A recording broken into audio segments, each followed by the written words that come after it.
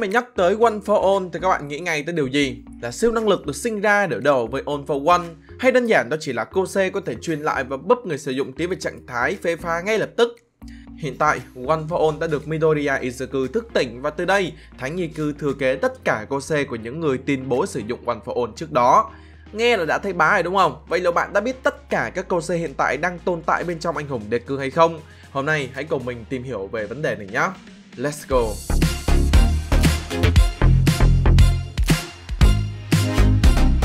Tục là chương trình quảng cáo. Nếu bạn muốn trở thành một fan anime VIP Pro Max hãy đến với shop áo Weibo Empire. Đây là cái shop của mình thì tại đây cung cấp một loạt các mẫu tool anime đẹp với những bộ nổi tiếng như One Piece, Naruto, Kimetsu no Yaiba vân vân.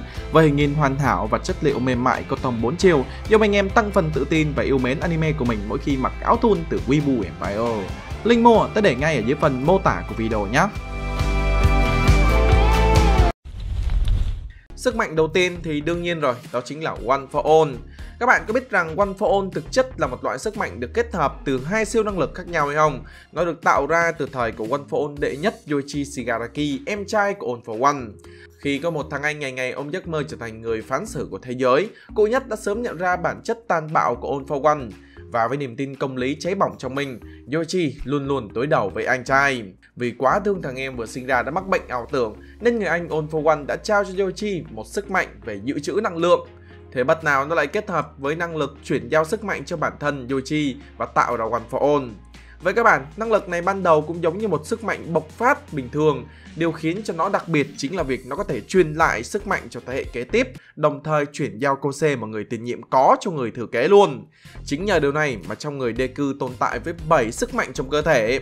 Quay trở lại với câu chuyện từ cụ Yoichi, khi dùng One for All choảng nhau với thằng anh và nhận ra mình thua cả về đẳng cấp lẫn sức mạnh, Đệ Nhất quyết định truyền nó cho các anh hùng thế hệ sau, hy vọng rằng một ngày nào đó sẽ có thể có người đánh bại được All for One. Có thể nói rằng One for All khi được đề cử thức tỉnh là một trong những tồn tại mạnh mẽ nhất đứng ngang bằng với All for One ở thời điểm hiện tại. Do One for All lớn dần theo từng thế hệ, vậy nên người thừa kế phải có yếu tố thể chất cực kỳ cao mới có thể gánh được tất cả sức mạnh của những người trước đó người ta có. Một trong những nhân vật sử dụng thành tạo One for All nhất chúng ta biết đến đó là All Might. Một cú đấm 100% sức mạnh từ ông không những đắc bọn tội phạm phải đánh vần từng chữ mà có thể thay đổi hoàn toàn thời tiết của cả một khu vực xung quanh. Thậm chí là phá hủy nguyên một phần thành phố do áp lực gió mà cú đấm tạo nên. Tựa như cú đấm của thằng đầu chọc mặc đồ bó nào đấy đấy. Nhưng đề cư nhà ta thì nó lại khác đôi chút Tranh lệch thể lực giữa All Might và đề cư Như việc một thằng chân đất đua với một thằng trộm chó để Center vậy bởi thế nên ta thấy đề cư có những khi người te tua đến nỗi Recovery Girl từ chối chữa lành vết thương cho cậu nếu cứ tiếp tục chiến đấu bán mạng như vậy. Quá bực mình, đề cư quyết định tâm sư học đạo và gặp Gran Torino, người dạy cậu kiểm soát một phần sức mạnh từ One for All. Bây giờ thì việc sử dụng 45% sức mạnh từ nó có thể coi là điều bình thường với đề cư. Này thì ngoài All for One ra, những thành phần còn lại đề cư chấp cậu mày một mắt.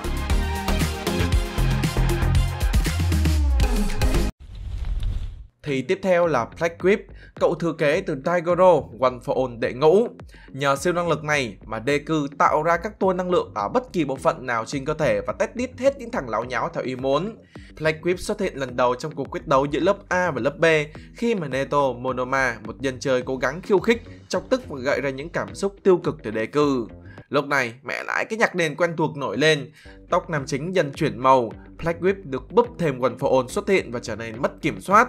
Sức mạnh của phạm vi của năng lực đã phát triển rất nhiều so với trước đây và nó bắt đầu tàn phá xung quanh. Nhưng tưởng thằng báo Monoma pha này đi chân lạnh toát rồi thì may ra chính chủ dagoro hiện hồn về, kết hợp với pha ôm ấp nông cháy của Uraraka mới làm cho đề cư bình tĩnh lại thanh niên Monoma nhặt lại cái mạng và có được bài học đó là chọc chó còn chấp nhận được chứ chọc đến bên thì chỉ có giải cứu. Nhờ vào Black Whip, Deku thoải mái bắt bớ mấy tên tội phạm cùng lúc, tha hồ đu dây bay nhảy khắp nơi y hệt như Spider-Man mà không cần đi bộ đuổi từng thằng như hồi chỉ có mỗi cái One for All. Từ đó, việc nhận sát thương phản lại thì nó đòn 100% One for All được giảm đi rất là nhiều. Điều đặc biệt từ cái Black Whip đó là năng lực này liên kết với cảm xúc của người dùng. Tùy vào việc Izuku cảm thấy hưng phấn hay sung sướng mà Black Whip sẽ mạnh hay yếu tương đương. Cho đến hiện tại, khi đã trải qua một quá trình luyện tập may rũa cùng Groot, Uraraka và Froggy, cộng thêm những ngày tháng luyện tập khi rải UA, miễn là giữ được bình tĩnh thì Deku hoàn toàn có thể sử dụng Black Whip một cách bình thường như người tiền nhiệm Daigoro.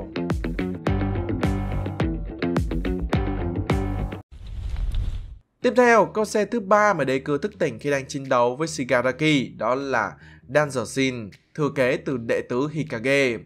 Nhờ vào sức mạnh này, Deku sẽ ngửi được đứa nào đang có ý định thù địch với mình, độ mạnh, độ yếu của nó ra sao, từ đó đưa ra quyết định thông nó hay coi dò bỏ chạy, giống hệt như giác quan thứ sáu của các uh, chị em bây giờ vậy đó. Tuy hữu ích là thế, nhưng sức mạnh này cũng có những cái hạn chế đó nha. Khi đối đầu cùng với Shigaraki, việc xác định nguy hiểm khiến Deku cảm thấy rất đau đớn, phải duy trì đứng vững trước đòn tấn công bất ngờ từ người đàn ông nhiều tay Tomura. Theo mình nghĩ có thể là sau khi được búp One for All khiến Danjashin đánh giá được sức mạnh của kẻ thù thông qua việc gây tổn hại cho cơ thể, cụ thể là khiến Deku đau đầu. Sau này có vẻ như thông qua luyện tập thì tác dụng phụ của Danjashin gần như không còn thấy xuất hiện nữa.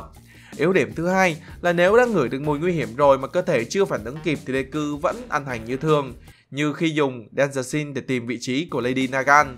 Mặc dù biết đó là cô gái có súng, cần né kèo ngay nhưng Thánh Đề Cư vẫn ngậm mồm đầy hành cho cơ thể yếu sinh lý, không tránh kịp những phát bắn hiểm từ cô nàng. Nhìn chung, đây là một sức mạnh mà đề cư sử dụng khá linh hoạt, có thể dùng nó để định vị được kẻ thù và những mối đe dọa đang nhắm tới mình.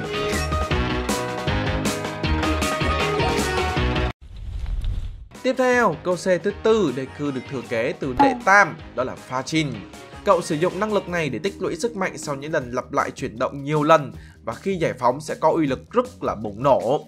Nghe nó cứ hao hao như đại bộc sát thần của Bakugo nhưng khác cả chỗ Bakugo là người chơi hệ nổ còn Deku là giải phóng sức mạnh một cách đơn thuần. Nhờ Fachin kết hợp cùng 45% One for All, Deku đấm vào mồm kẻ địch với sức mạnh tương đương 100% mà không hề chịu bất kỳ một tổn thương nào. Nghe có bá quá đúng không? Trong cuộc đồng độ với Lady Nagan, lợi dụng việc di chuyển qua lại giữa các tòa nhà để cứ tích trữ một nguồn năng lượng đủ lớn để khi tìm ra được vị trí kẻ địch, cậu tung một đòn combo pha chin cộng one for all đánh bại hoàn toàn cô nàng, sau đó dùng kỹ năng thông não của nhân vật chính để Lady Nagan giúp cậu chống lại kẻ phản diện sau này. Cá nhân tôi thấy đây là một cái sức mạnh khá bất tiện vì phải đợi tích tụ trong một khoảng thời gian nhất định để sử dụng được cái sức mạnh tối đa của nó. Nhưng xem xét tiêu uy lực của năng lực này thì đây là một khả năng khá bất bẩn cho thánh đề cư nếu kết hợp với những đòn one for all thông thường.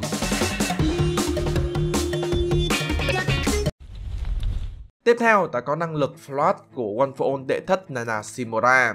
Đây có lẽ là năng lực đặc biệt nhất trong tất cả các cô C mà Deku sở hữu bởi nó không có bất kỳ khả năng chiến đấu nào. Nhờ vào Flash đã được búp từ One for All, Deku tự do di chuyển trên không với tốc độ cao, tha hồ bay nhảy khắp thành phố. Nhiều bạn đánh giá đây là cái câu C phế phẩm nhất của Deku, nhưng theo ý kiến cá nhân của mình thì Flood là một cái câu C rất tuyệt vời đối với Deku. Bởi khi thừa kế được Flood đồng nghĩa với năng lực di chuyển của cậu sẽ được gia tăng đáng kể, khắc phục được những nhược điểm chí mạng của Dangersin. Đó chính là không phản ứng kịp với những đòn đánh nhanh đúng không? Đây sẽ là một combo defense tuyệt vời giúp Deku có thể né tránh được những cái đòn đánh trực tiếp vào bản thân mình. Ví dụ như lúc Flood xuất hiện lần đầu tiên trong cuộc đấu với Shigaraki, ta thấy cậu đã trở nên linh hoạt thế nào khi né tránh hầu hết tất cả các đòn từ Shigaraki với combo Danger Scene kết hợp với lại Flood. Khi đó vẫn có thể sử dụng Plague Whip để kéo đồng đội của mình đến nơi an toàn.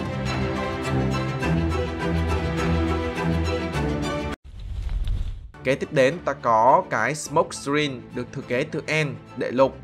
Deku dùng sức mạnh này để tạo một cái đám khói màu tím dày đặc từ cơ thể mình.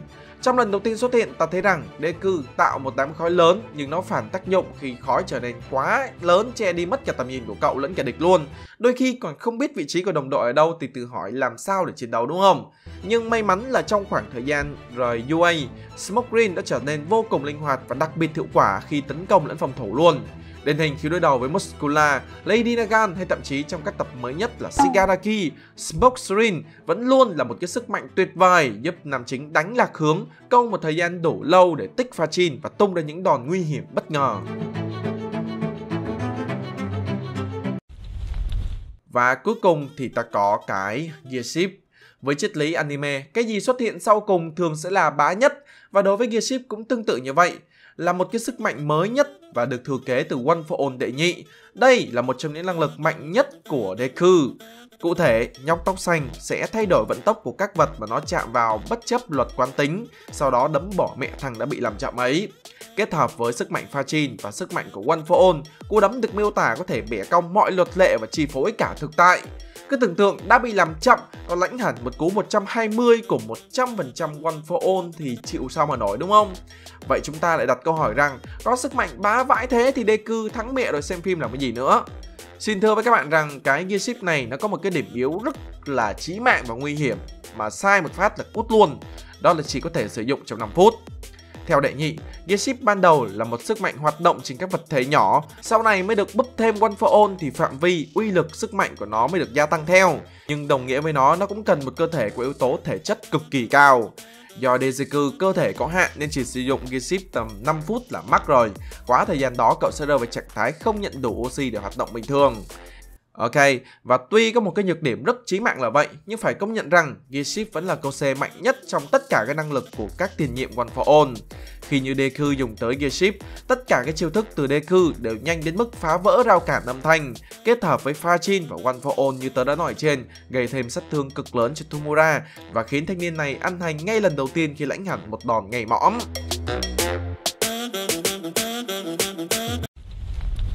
Vậy là chúng ta đã tìm hiểu hết tất cả các loại sức mạnh hiện tại của Deku. Mình thấy rằng những cái sức mạnh này nó đặt ra riêng lẻ thì sẽ có những điểm yếu, điểm mạnh riêng biệt. Nhưng khi kết hợp với One for All hay kết hợp với một loại siêu năng lực khác thì nó rất là hoàn hảo. Anh em thấy sao? Về những cái năng lực của Deku, liệu đâu là sức mạnh mạnh nhất đối với anh em? Hãy comment phía dưới chúng ta cùng nhau trò chuyện nhé. Tôi là Bi Huỳnh, xin chào và hẹn gặp lại trong video tiếp theo. See ya!